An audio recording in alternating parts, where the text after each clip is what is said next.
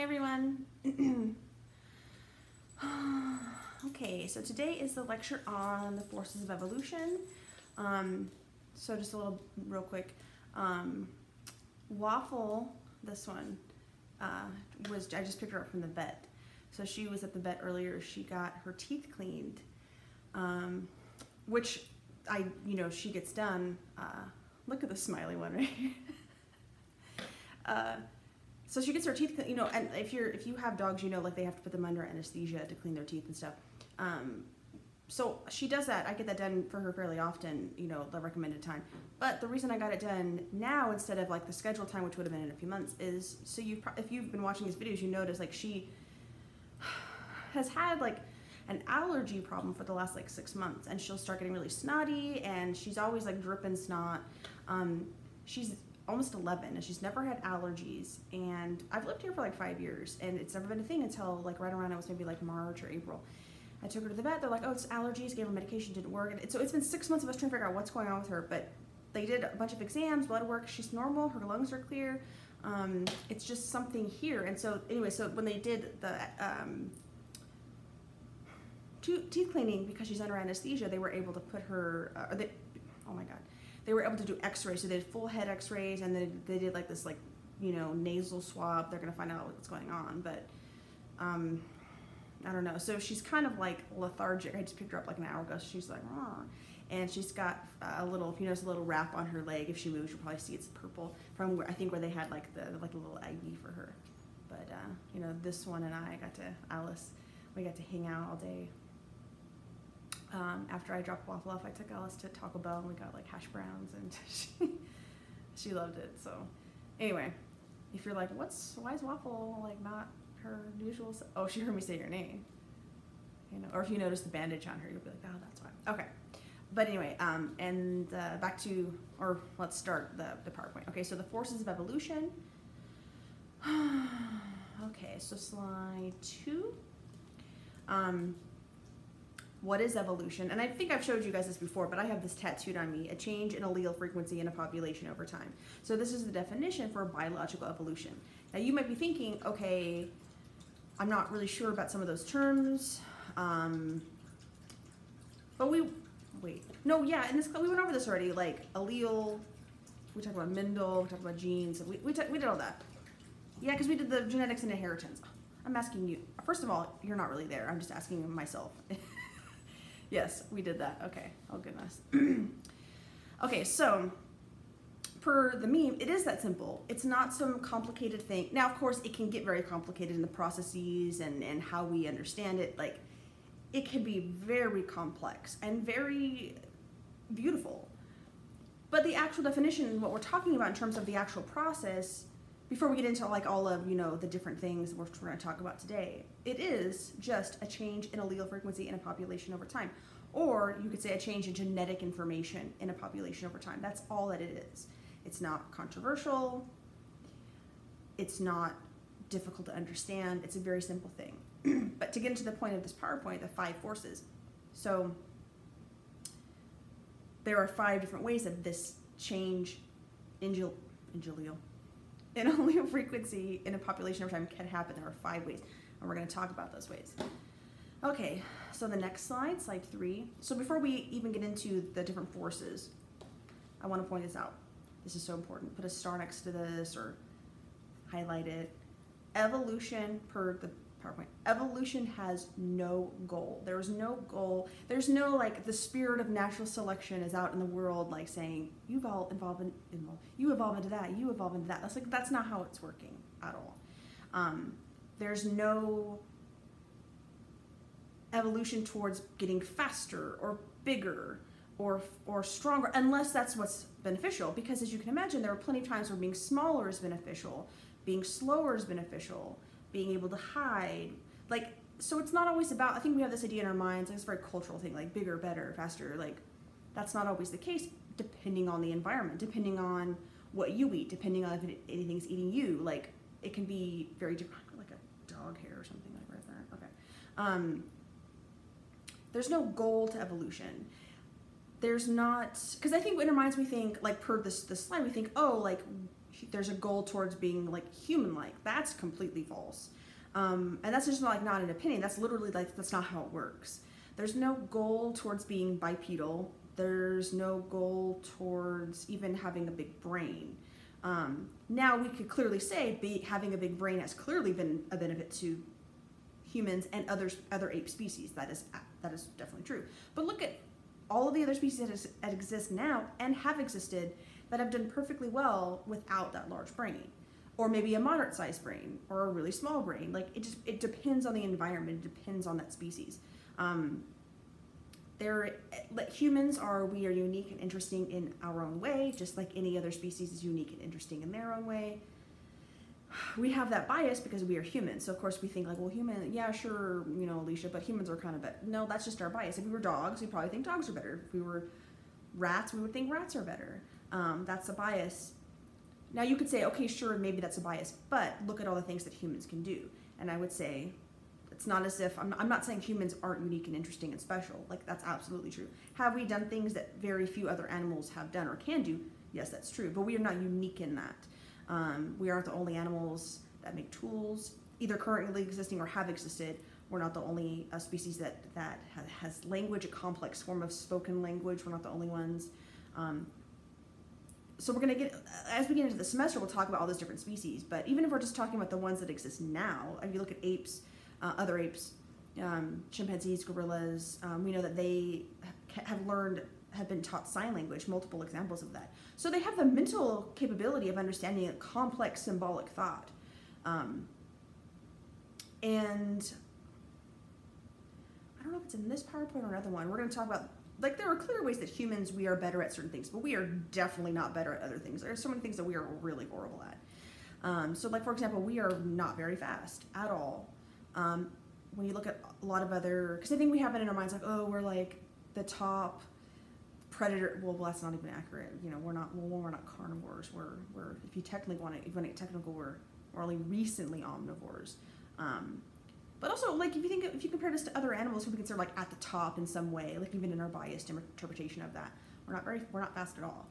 Um, we, being on two on hind limbs two limbs that's we're not fast because of that. Now but being bipedal gives us other advantages. We can go very long distances without having to rest. Um, so then it's like it's one of those things like in terms of like what the environment was, was it going to be beneficial to be able to go really fast, or was it more beneficial to be go long distances? Hence, we probably came by, became bipedal because of that and, and some other factors. I'm getting way off topic. The point is, although, oh, what I was going to say is like humans, yes. If you look at us, but here's the thing: if you look at us as a group, because I hear this, well, like we have cell phones, like. yeah, but you don't know how to. I mean, maybe one of my students, but like I'm assuming. I mean, I don't. None of my friends do we as a, like we as individuals don't know how to do those things. We depend on those things because we have a very rich cultural experience that we share all that information with each other. But we, that's not built into who we are as like an individual of our species. The only thing we can really say about being an individual of our species is that we're bipedal, we have big brains, we can understand you know complex symbolic thought and expression.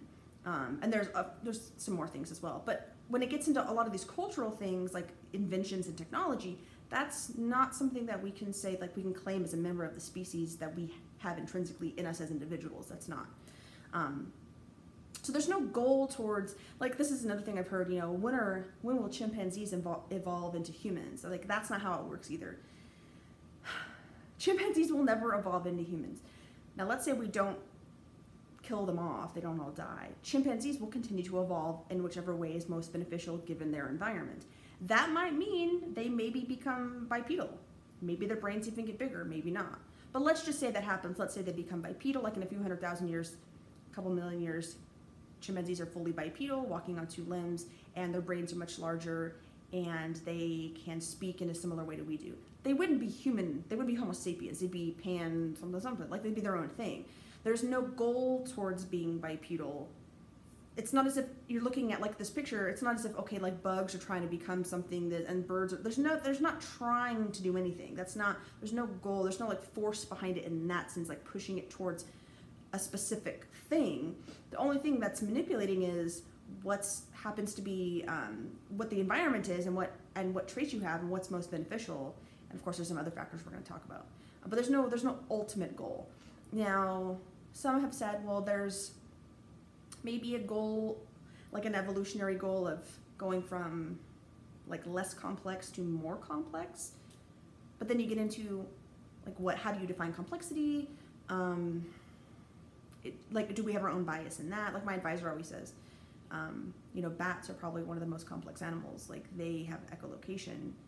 Um, we don't have that, so does that make them better? Like when you start getting into like better or worse or more complex or like like it, it you want to avoid it in terms of like something like that like i'm pointing like you can see in terms of like the slide on the powerpoint like in terms of like a hierarchy it's not that way it's definitely more like a tree we're going to see animals continue to evolve in different directions depending on the environments and depending what traits they have in their genetic you know in their gene pool. Okay. So hopefully my rant made sense to you and hopefully it'll become more clear as we go through these. Okay. Slide four. So I just said all this, right? No hierarchy, there's no goal. Um, you don't you should have a there's no value judgment in nature like oh we need to be working towards this one thing because that's the best. Because that's not how it works. That's not that's not how any of it works it's really just what's the given environment what traits happen to be available which ones are most beneficial you know in contrast to others and that's what's going to be what's going to continue and if the environment changes then what's beneficial what traits are beneficial will also change um, all right, like I said, no animals are trying to become humans. Um, that's not like how it works. Okay, slide five. This is so true. Like literally per my rant right now. Okay. Um, but these are the five forces of evolution. We're going to talk about each of these: natural selection, mutation, gene flow, genetic drift, and non-random mating. So we're going to talk about those. Okay, so the first one, natural selection. So we talked about this before when we talked about Darwin and, and the who's who and the, the thinkers before him and then his idea, Darwinian evolution, aka natural selection. So we talked about that. But just as a recap, you can see, do I have that one? Um, so just just to reiterate what I told you guys before on that, um, Darwin, you know, in his travels and in his research noticed you know, some really important things. Nature is not this romantic ideal that a lot of people had thought. It's not beautiful, and peaceful, and at balance. It is. There is competition. It is violent. It is chaotic. There, there is competition for resources, whether it's you know water or food or uh, like plant food or animal food, whether it's mates. There's always competition. Sometimes that competition is increased or decreased depending on you know the availability and the given environment. But there's always going to be that competition. Um, certain traits, depending on the environment, are going to be more beneficial than other traits. And because those individuals will have an advantage, they are more likely to survive and then more likely to reproduce successfully. And then over time, you will see a transition to more individuals having those traits than the other traits.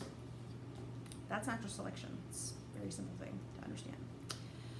Slide seven. Herbert Spencer. Um, oh, yeah, okay, so survival of the fittest. So you might have heard this phrase before. Whenever I've heard this phrase, it's often used incorrectly. It does not mean survival of the strongest or the fastest. Now, like we have the term fit, like we use like in common conversation, like that person's really fit. Typically, we think like they're really athletic or they're really strong. That's not what it means. Survival of the fittest does not mean survival of the strongest or the fastest. Like I already said, it can be really beneficial to be slow or small. Um, it's a reference to an evolutionary concept called fitness, and simplified, fitness is the number of offspring you have. So I have zero offspring. If any of you, like if you have one offspring or two, you are more fit than I am. You are more evolutionary fit, evolutionarily fit than I am because you are you have already passed your genetic information into the next generation. So survival of the fittest literally just means survival of the people with the most offspring. Bec- literally because more of their genes are surviving into the next generation. If I don't have any offspring, none of my genes are going, at least none of my direct genes. Um, if you have offspring, then your genes are now going to survive into the next generation. Okay, slide eight. This is an important concept in natural selection. You don't have to be faster than the bear. You may have heard this expression in other contexts, but this is absolutely true. Natural selection is never about this optimal state of perfection in some way or getting to this peak adaptation, whether it, you know, physical or behavioral, whatever it is. It is just about being a little better than the other thing that was happening before. Like what gives you a little bit more of an advantage. Um, because whatever the thing that you're doing now, maybe it's a little better than the other thing, doesn't mean this thing's great. It just means that it's a little better than the other thing. So this phrase, you don't have to be faster than the bear, you just have to be faster than the person next to you. That's the point. Like in natural selection, you don't have to. It doesn't have to be the best. Sometimes you'll see states where you're like, oh, that's actually like pretty, you know, a little more optimal state than you would expect, or maybe a little less. But in general, that's just not how it works. It's going to just always be a little bit better than the other thing. So, like as an example, bipedalism. So humans, uh, you know, around six million years ago, our, the human lineage started to transition to walking on two limbs versus walking on four. This was really beneficial for probably a number of reasons, and I think we talk about that in like another PowerPoint, like the specifics of that. Um, however, even though it might have been better then and now to be bipedal rather than quadrupedal for a number of reasons, it doesn't mean that being bipedal is without complications. So think about all of the problems we have because we're putting all of our body weight on two limbs now instead of just instead of four most people have some kind of you know back problem, hip problem, knee problem, foot problem. It's because all of our body weight is now on two limbs. Um, we've only had a few million years to adjust. Now, if we had more time, we might see a little improvement in that. But also, we could in a million years be all gone. We could be adapted in some other way. Maybe the world will be flooded, and people who have a mutation for webbed feet are the most common. Like we don't know, you know. Um, so just think of it that way. There's never an optimal prime state we see, oh, you know, everyone's adapted to per perfection. Now you might be really well adapted, and we see this. This is literally how it works in nature. You see animals being very specifically adapted to their environment, but it's not as if that adaptation is without a problem because natural selection can only work with what it has. So like we were, um, let me think. that's a good example? If you know, like like for example, like my dog so like she has, you know, like say medium length hair. If natural selection could say, okay, let's make the hair thicker for, you know, uh, if it gets really cold or longer, or maybe even the color might change like over generations like that. It can work with what's kind of already there. And sometimes you have mutations that can, you know, make drastic jumps, but it can't make these crazy like, well, let's just make this dog um, six foot tall and bipedal. Like over the course of a couple generations, it's not going to happen because that thing might be the best option. Like it's it can only really work with what's available genetically. It can alter it sometimes in, in really complex ways, but it can only really work with what's there. And sometimes what's there is you know like average, um, or just enough, and that's what you get. So like I said, bipedalism is a really good example. Like it was beneficial at the time, still is, um, but it's not as if it's not without any issues. It's not some perfect state of being you know, it's just a little better than what was before, given our population's, you know, specific environment and and and um, um, behaviors and. Okay, hopefully this is all making sense to you guys. Okay, slide nine, and just some more examples. I think I gave you guys some of these examples before with natural selection. So, but here's just a few more. You can see like these animals have adapted with coloring. So at least you, maybe you can't even see like the moth. There's like a black moth against the, the darker uh, bark on the tree. The desert hare has the, you know, the browns blend in and also has longer limbs. Remember Bergmann's and Allen's rule, longer limbs to dissipate heat, um, longer, every, like longer ears too to dissipate that heat. The, the, the bunny in the snow, you know, fatter, probably a little more body fat, definitely thicker hair or fur. The color, so these animals are really well adapted to their environments.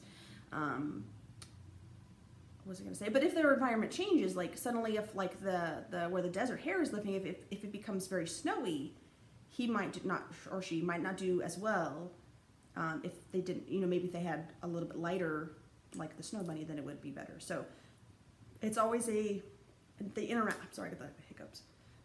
It's always the interaction of the traits and the environment together. Okay. And then, so here's another example. Slide 10. Um, so you can see there's a population of bugs, some green and some orange. The, the their natural predator, this bird, you know, loves the green ones. Maybe they taste better and is eating all the green ones. Like, yeah, I'm our favorite, the green beetles. Um, so over time, the green beetles are not surviving, which means they're probably not reproducing. Maybe they're they're getting eaten before they even reproduce. So the orange ones are like, well, we are surviving and reproducing all these, you know, offspring. And so over time, what you're going to see is this transition in that population from, you know, maybe 50-50 green and orange to like mostly orange. That's natural selection. That that's it. That's it right there. Sometimes it's maybe it's not a natural predator. It could be a, an env environmental factor. It could be like the weather. It could be you know could be terrain. It could be a predator. It could be the food that they're eating, or a combination of all of those things. Okay.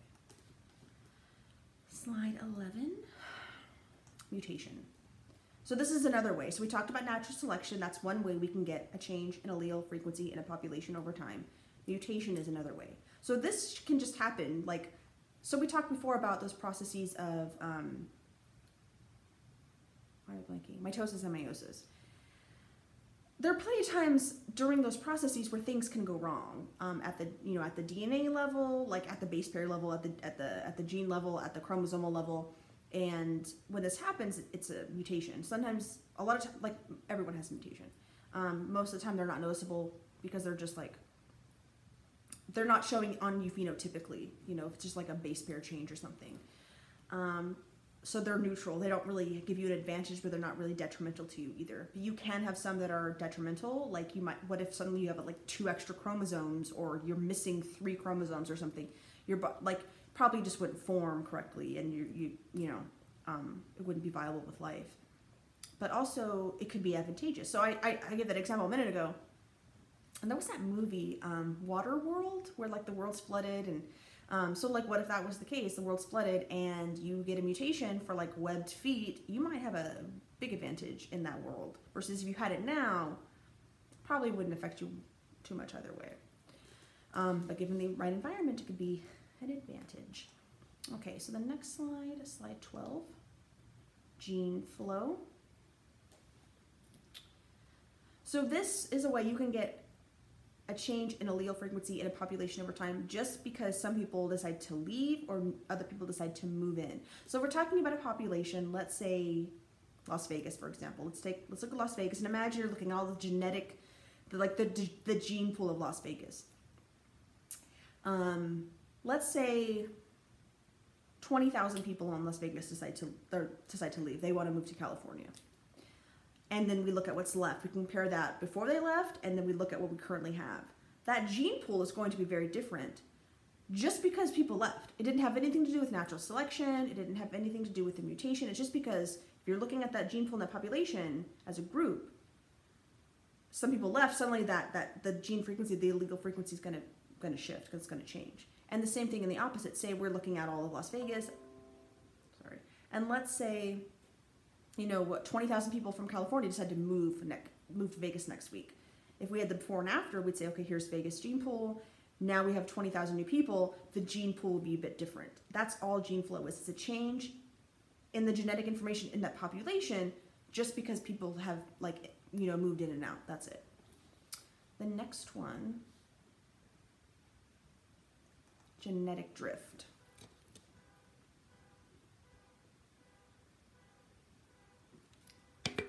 So imagine there's an island and um, let's say one day some people happen to be down at the beach. They're, you know, sun tanning. Some people are on the hillside at the picnic and suddenly there's an earthquake in you know in the ocean and the tsunami comes and the people let's say 95% of the people who were on the beach that day died because of that. Now if just by chance it just happened to be mostly let's say like blonde people on the beach and mostly like redheads on the hillside after that natural disaster by chance you're going to have you know more redheads in that population because now the, the frequencies have changed in that population um, the same thing if you imagine like there's um, it's some kind of geographical barrier. Let's say that um, you know there's a population of frogs and a mountain range is forming or a river is forming and has separated, maybe isolated one of those groups. That group now is isolated and the genetic information that is now in the population versus before will be different because of that. Um, simply because of this like natural event. So this is genetic drift. And you might end up seeing within that population, like the isolated population, certain um, traits be more prominent, not because they were necessarily like advantageous in terms of natural selection, but because that's all that was available by chance in that in that population. If that makes sense. Okay. And then the last one, non-random mating. Also known as sexual selection. Oh, I got a snoring dog in the background. I don't know if you can hear it. Okay. Um, basically, what this means is it is not random why you are attracted to who you're attracted to. Um, oh man, she's really snoring. If I were to ask you all, like, take five minutes and make a list, like, the top 10 things you look for in a romantic partner, you might. Now, it's going to be different if you're, like, uh, heterosexual or homosexual. Um, everyone's probably going to have a list that includes, you know, certain physical traits, probably certain emotional traits, um, a probably list of like activities or hobbies they want their you know romantic partner to also enjoy doing the way they do. So you might say like, oh, I want someone who's you know tall, um, who's really into you know baseball, and who is a really good communicator. Like I don't know, you know what I mean? Like everyone would have a list. And it would be, it'd probably be very specific things. And our list, some of us would have some overlapping stuff because, especially like if you look at like all heterosexual females or all heterosexual males, because of evolution and, and uh, you know like psychological adaptations for mate choice, you're gonna see some general overlap. That's absolutely true. But we're gonna have some differences because it's also gonna be informed by like our personal history. Like if you had a really bad experience with, you know, a guy you were dating, you know, a couple years ago who was tall and skinny and blonde, you might not want to date someone who looks like that again. So like that, that's definitely true. Like our cultural experience and, and our you know personal experiences can definitely inform on that. But the point of this is that a lot of these choices are very specific to an evolutionary process. Like we don't realize that that's what's happening. Like that's not at the forefront of our mind. Like oh yeah, I'm thinking about hormone levels or like we're not thinking that. But that's absolutely what's happening. So I'm to give you guys some examples. Oh, actually, I was, I was wrong. That must be on the next PowerPoint. Okay. Never mind. That's going to be on the next one. Um, so there are two, so slide 15, there are two types, intra and intersexual selection. And that's right, because we are going to spend a lot of time talking about just this one alone, sexual selection. Um, so that's it for this one. But I, but the next one will be on sexual selection. We'll be talking about that, and it's probably one of my favorite ones. We talk favorite favorite topics of this class, and it's quite long. I'm hoping to only split it into two parts, one and two, before the exam. We should be able to. Um, in class sometimes because people we have really great conversations. We end up talking about it for like forever. But I think with just me videoing it, I can do it in two in two moderately long videos. Um, okay, so that's it for today. Oh, less than 30 minutes. That's good. Okay, so I'll see you guys on the next lecture.